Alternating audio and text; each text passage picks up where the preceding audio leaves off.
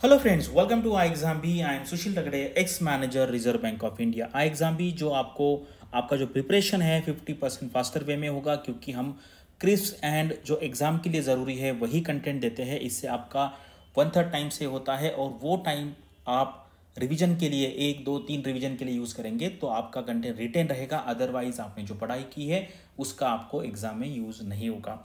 तो ये जो वीडियो है, बहुत इंपॉर्टेंट वीडियो है और आपने देखा होगा मेरे जो वीडियो होते हैं, वो काफ़ी अलग टाइप के होते हैं, जिसमें आपको काफ़ी सारी इंसाइट्स मिलती है और आपका जो विजन है, वो ब्रॉड होता है और इसी टाइप का विजन की ज़रूरत होती है एग्ज़ाम में। आपको डिस्क्रिप्टिव आंसर लिखना है, आपको ऐसे लिखना है, आपको इंटरव्यू में आंसर देना है और आपका आंसर बाकी लोगों से अलग दिखेगा, बाकी लोगों से अच्छा दिखेगा तो ही आपका सिलेक्शन यहाँ पर हो पाएगा। तो अभी यह है थर्ड ग्लोबल हैकेथॉन के बारे में। तो अभी ये हैकेथॉन है हार्बिंजर है तो ये थर्ड है। तो आपको कमेंट सेक्शन में बताना है कि फ़र्स्ट एंड सेकंड हार्बिंजर क्या है और इसके ऊपर डेफिनेटली क्वेश्चन आने वाला है। फ़ेज़ वन में हो या ईएसआई में हो या फाइनेंस में हो, इसके ऊपर फ्रॉड डिटेक्शन इतना इंपॉर्टेंट है, मैं आपको आरबीआई एनुअल रिपोर्ट के बारे में भी बताऊँगा और आप न्यूज़ देखिए फाइनेंशियल फ्रॉड्स बहुत आजकल हो रहे हैं तो इसके ऊपर ऐसे भी आ सकता है और इंट्रो में भी ये पूछा जा सकता है। तो बहुत ही इंपॉर्टेंट ये टॉपिक है और ये हैकेथॉन है। इसके बारे में भी आप देखिए, अगर आपको इंटरेस्ट है, अगर आपको इंट्रो में अलग आपका एक इम्प्रेशन छोड़ना है तो आप ऐसे हैकेथॉन में एटलीस्ट पार्टिसिपेट करिए, आपके आइडियाज़ भेजिए, भले वो सेलेक्ट होते हैं, नहीं होते उसे कुछ फ़र्क नहीं पड़ेगा, लेकिन आप इंटरव्यू में बता सकते कि, सर, मैंने ये ट्राई किया था। इसमें प्राइजेस भी है फोर्टी लाख का ट्वेंटी लाख का, पाँच लाख का। प्राइज़ मिलना, ये हमारा एम नहीं है, हमारा एम मिलना है आरबीआई में जॉब मिलने का, उसमें इस तरीके से प्राइज़ आपको हर मंथ मिलेंगे, एक से दो दो लाख रुपए का आपको जॉब मिलेगा। तो आपको ये डेफिनेटली ट्राई करना है, जिनको पॉसिबल है, जिनको आइडियाज़ है, जिनको इंटरेस्ट है, या फिर आपके कोई फ्रेंड्स होंगे जो आईटी सेक्टर में काम करते हैं, उनको भी आप ये बता सकते हैं। तो चलो हम आगे वीडियो स्टार्ट करते हैं। ये है हमारा आरबीआई का प्यारा वेबसाइट इस पे आपको डेली जाना है। मैं तो पिछले 10-15 साल से एवरीडे जाता हूँ, जब मैं आरबीआई में था, तब तो जाना ही पड़ता था। और उसके बाद जब मैंने पढ़ाना स्टार्ट किया, मेरे पढ़ाने के पर्पज़ के लिए, और मैं जो इन्वेस्टमेंट करता हूँ अलग अलग एरिया में आपका जो होराइजन है वो बढ़ाने के लिए इन्वेस्टमेंट का, पैसे का और बाकी इकोनॉमी में क्या चल रहा है, आपको यहाँ पे daily at least fifteen minutes spend करना है। आपके लिए तो बहुत इंपॉर्टेंट है क्योंकि अगर आपको एग्ज़ाम क्रैक करना है तो यहाँ पे आपको डेली जाना ही पड़ेगा। अभी यहाँ पे देखिए Reserve Bank of India launches its third global hackathon Harbinger 2024 तो यहाँ पे जाके ओपन करना है। फिर उसके बाद ये ओपन हो जाएगा। करेक्ट क्या है? थीम क्या है? हर एक इसमें कुछ ना कुछ थीम होता है। अब यहाँ पे ज़ीरो फाइनेंशियल फ्रॉड्स यहाँ पे तीन थीम है, हम आगे जाके देखेंगे सब थीम्स है। और सेकंड नंबर तक का थीम है बीइंग दिव्यांग फ्रेंडली यानी कि जो लोगों का, जो लोगों को कम दिखाई देता है या नहीं दिखाई देता है, उनके लिए कुछ नए इनोवेटिव सॉल्यूशन ढूंढना, ठीक है? इस पे प्राइजेस भी है और ये ग्लोबल हैकेथॉन है, यहाँ पर फॉरेन के लोग भी पार्टिसिपेट करते हैं और आप भी पार्टिसिपेट यहाँ पर कर सकते हैं। तो ये है हमारा आरबीआई का एनुअल रिपोर्ट यहाँ पे पेज नंबर 131 के नीचे 132 वाला जो पेज नंबर है, वहाँ पर फ्रॉड एनालिसिस के बारे में यहाँ पर लिखा है। तो अभी ये आपको डिटेल में पढ़ना है, मैं यहाँ पे बस आपको एक एक शॉर्ट यहाँ पर एक इंसाइट देता हूँ कि अगर आप देखेंगे दो हज़ार में टोटल जो फ्रॉड्स का जो अमाउंट था, ये देखो ये अमाउंट है, उस टाइम पे ज़्यादा था, उसके बाद ट्वेंटी सिक्स थाउज़ेंड हुआ है ट्वेंटी सिक्स थाउज़ेंड करोड़ है ये।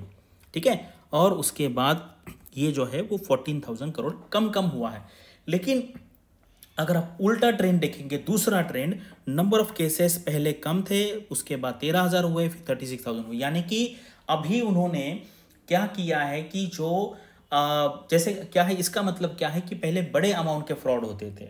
अभी क्या है ज़्यादा अमाउंट हो तब फ्रॉड का नंबर ज़्यादा हुआ है और अमाउंट कम हुआ है। यानी कि यहाँ पर डायरेक्टली जो लॉस हो रहा है, वो कॉमन पीपल को यहाँ पर लॉस हो रहा है। और छोटे छोटे फ्रॉड्स क्या होते हैं कभी कभी पकड़ना मुश्किल होता है क्योंकि जब आप बैंक में काम कर रहे हैं तो अगर मान लीजिए सपोज़ कि हम क्या करते थे पहले, जब 2000 का नोट था, हज़ार का है 500 का है तो वहाँ पे ना लोग केयरफुली चेक करते थे दो हज़ार का नोट सही है कि नहीं है? हज़ार का नोट सही है कि नहीं है? लेकिन अगर मान लीजिए किसी ने दस रुपये का, पचास में और सौ में अगर गफला करना चालू किया तो हमारे वहाँ पे नज़र नहीं जाएगी। इसका मतलब यह है कि अभी जो फ्रॉडस्टर्स हैं, वो छोटे छोटे अमाउंट का कर रहे हैं, क्योंकि बैंक में भी, मैं भी जब इंस्पेक्शन करना जाता था, जब आर में था इंस्पेक्शन डिपार्टमेंट में, यानी कि ये डिपार्टमेंट ऑफ़ सुपरविजन में तो वहाँ पर हमारी नज़र बड़े अकाउंट पे होता था। लेकिन मैंने एक बार छोटे अकाउंट वाला भी फ्रॉड पकड़ा था एक बैंक पे। तो ये आपको यहाँ पे देखना है कि किस टाइप का ट्रेंड चेंज हो रहा है। ये आपको इंटरव्यू में पूछा जा सकता है। इसके ऊपर डायरेक्ट एमसीक्यू भी आ सकता है और कुछ डिस्क्रिप्टिव का क्वेश्चन आंसर भी यहाँ पर आने के बहुत चांसेस है। तो ये चैप्टर आपको आरबीआई के रिपोर्ट में जाके डिटेल में पढ़ना है। ठीक है? तो अभी यहाँ पे देखो कि कौन कौन से एरिया में हो रहा है। तो यहाँ पर नंबर ऑफ़ फ्रॉड्स में है और अमाउंट में है। तो अगर आप देखेंगे एडवांसेस में, ये तो सबको आइडिया लगा सकते हैं, लेकिन नंबर दो पे अगर आप नंबर में देखेंगे तो कार्ड एंड इंटरनेट पे हो रहा है और ऑफ़ बैलेंस शीट आइटम जो है वो पॉइंट टू क्योंकि ये जो पर जो ट्रांजेक्शन होगा, ये बड़ा होगा, क्योंकि ये देखो पॉइंट टू है, लेकिन यहाँ पर अभी आप देखो थर्टी फोर्टी परसेंट है, लेकिन अमाउंट वाइज सिर्फ़ पॉइंट थ्री तो छोटे छोटे अमाउंट का दो हज़ार रुपये दस हज़ार रुपये पाँच हज़ार रुपये इस टाइप का होता है। लेकिन अगर आप यहाँ पे देखेंगे तो ये पॉइंट टू में सिर्फ़ दो टू पॉइंट फोर ओवरऑल इसका टू पॉइंट फोर आप देखिए तो ये नियर अबाउट आपका हज़ार करोड़ के आसपास जाएगा। ठीक है? तो ये जो है ऑफ़ बैलेंस तो आपको ये समझ में आना, देखो इसको ही कहते हैं डेटा एनालिसिस करेक्ट ठीक है? डेटा इंटरप्रिटेशन भी यही है। डेटा इंटरप्रिट यानी कि whether you are able to interpret the data उसके बाद फिर अगर ये नंबर देखिए, फिर यहाँ पे देखिए तो मैक्सिमम जो है एडवांसेस में ज़्यादा होते तो इसलिए बैंक में जो आप काम कर रहे हैं, उनको बहुत ही केयरफुल रहना है जब आप लोन देते हैं। So that's why this is a very important activity तो आप यहाँ पे इसका नंबर भी देख सकते हैं कि एग्ज़ाम में आ सकता है। Number of attempt number of frauds में कौन कौन सा असेंडिंग डिसेंडिंग ऑर्डर है और अमाउंट इन्वॉल्व में असेंडिंग डिसेंडिंग ऑर्डर क्या है, ये आपको पता भी होना चाहिए और कभी कभी आप लॉजिकली भी इसका आंसर निकाल सकते हैं। करेक्ट तो अभी देखो ये थर्ड हैकेथॉन है। क्या है यहाँ पर? Innovative solutions for existing challenges मतलब हैकेथॉन का मतलब क्या होता है कि जो प्रॉब्लम्स है आपका, आज के डेट में, उसको आपको इनोवेटिव सॉल्यूशंस निकालने यहाँ पे प्रॉब्लम स्टेटमेंट दिया जाता है। प्रॉब्लम स्टेटमेंट क्या होता है मैं आपको बताऊँगा। ठीक है? यहाँ पे क्या करना है? सबमिट आइडियाज़ करना है। Create solutions exhibit the prototype and the solutions and primarily technology driven innovative solutions है to refine the existing process existing process जो है मान लीजिए के की है, या बैंक में जाते हैं आधार की है, या के की है, ई के की, उसमें आपको इनोवेटिव सॉल्यूशंस लगा के उसको रिफाइन करना तो ये देखो, ये आरबीजर इसके बारे में है अभी वाला। टू एडिशंस मैंने आपको पहले ही पूछा है कि क्या है वो आपको बताना। यहाँ पे इंपॉर्टेंट जो चीज़ें, ये फिनटेक के बारे में है आरबीआई कहता है against fraudulent activities for detection social media analysis monitoring tools for detection of digital payments fraud and disruption यानी कि जो पब्लिकली अवेलेबल इंफॉर्मेशन है, उसके बेस पे ही हमें यहाँ पर सोल्यूशन निकालना है। विजुअली एम्पेयर जो लोग हैं one of the most vulnerable groups of the society की, जिनको दिखाई नहीं देता है पार्शली दिखाई देता है या पूरा नहीं दिखाई देता है तो उनके लिए हमें कोई सोल्यूशन निकालने, यानी कि उनकी जो लाइफ है फाइनेंशियल ट्रांजेक्शन है, वो आसानी से होने चाहिए। ठीक है, अभी क्या है, ये देखो, ये प्रॉब्लम स्टेटमेंट है। Real time prediction and detection and prevention पहले रियल टाइम करना है, यानी कि फ्रॉड हो जाने के बाद आइडेंटिफाई करने में क्या मतलब मतलब है करेक्ट रियल टाइम करना है, उसको प्रेडिक्ट करना है डिटेक्ट करना है प्रिवेंट करना है। ये चारों पर्पज है, इसलिए मैंने उसको अलग अलग कलर में, यहाँ पर दो डिफरेंट कलर में यूज़ करके दिया। और frauds in the financial transaction using alternative resource of data including publicly available information यानी कि किसी का ट्विटर का अकाउंट है फेसबुक का अकाउंट है, या बाकी बहुत सारे चैनल्स वहाँ पे क्या क्या वो कर रहे हैं। यूट्यूब है, कुछ कभी कभी कुछ स्कीम्स प्रमोट की जाती है कभी कभी जो क्या कहते हैं कि स्टॉक्स का रिकमेंडेशन दिया जाता है। ऐसे बहुत सारे फ्रॉड्स होते हैं। तो सोशल मीडिया पे जो कुछ भी चल रहा है, उसके बेस पे ये निकालना है। तो आप इसको डिटेल में आगे जाके पढ़ सकते हैं इफ़ यू आर उसके उसमें क्या क्या करना है? ए आई एम एल का यूज़ करना है ए पी आई है डेटा एनालिटिक्स है। मिनिमाइज द फॉल्स पॉजिटिव्स अभी मुझे बताओ, ये फॉल्स पॉजिटिव क्या होता है? ये स्टैटिस्टिक्स का एक कंसेप्ट है। False positive. कमेंट सेक्शन में विद एग्ज़ाम्पल समझाइए।